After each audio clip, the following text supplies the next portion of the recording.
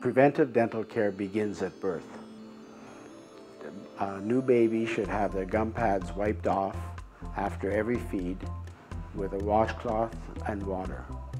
And that removes all the residual milk that is left on the teeth. And from that day forward, preventive care should occur on a daily basis. A healthy tooth requires that when it's erupted into the mouth or it comes into the mouth initially, that tooth isn't fully mineralized. If a tooth is covered immediately with milk products or juice right from the get-go as it's coming into the mouth, that final mineralization will not occur properly and that tooth will be more prone to breaking down. But once teeth start to erupt when they're six months of age, they need to be cleaned at least once a day, well, ideally before bed. If the teeth are physically touching each other, then you start to floss, and yes, you floss at six months of age. The baby teeth also occupy uh, the space where the, and act as guides for the permanent teeth. And that affects the child's bite and impacts them for their whole life. Preventive dental care is the most cost-effective treatment that one can provide.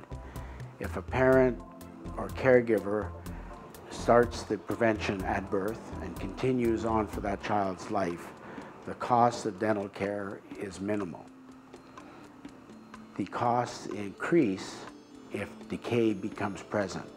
And many people say they can't afford to have dental care done because these teeth are going to fall out. And that sadly is a fallacy because they can't afford not to get it done because of the severe medical impact that that can cause that child. Each tooth is part of a whole body. Each tooth has its own blood supply. Each tooth has its own nerve supply. Uh, all feeling that occurs in a tooth is interpreted in the child's brain.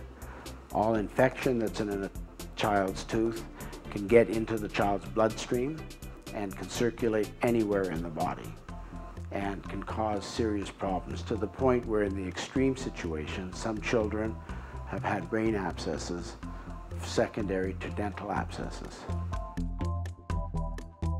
Dental decay in children under five is the most common chronic infectious disease in children in North America.